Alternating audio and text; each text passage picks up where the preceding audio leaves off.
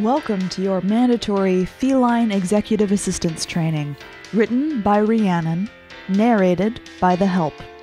This valuable knowledge transfer will certify you to cater to our every need in a manner that meets our corporate quality standards.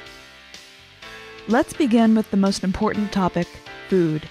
Unless you are a senior member of staff certified in the preparation and service of wet food, you will be serving us dry food. Together, we normally eat a little more than half a cup at morning and at night. If you want to provide our meals for the next 24 hours, lamentable though the portion size may be in any case, you can give us a heaping cup divided into both bowls. Remember to make sure our water bowls are full. Check both the bowl by our food bowls and the bowl in the executive lounge downstairs.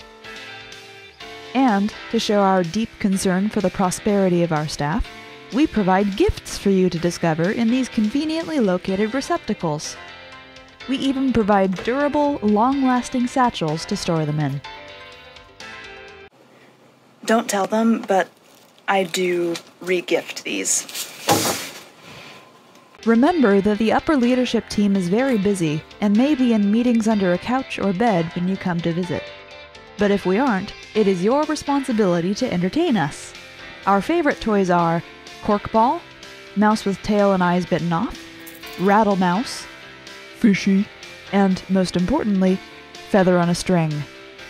It is appropriate and encouraged to provide snacks during these activities, but keep it to just a few.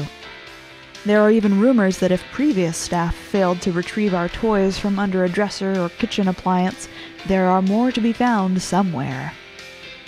Congratulations! You are now certified to care for us. On behalf of Layla, thank you, and we look forward to owning you soon.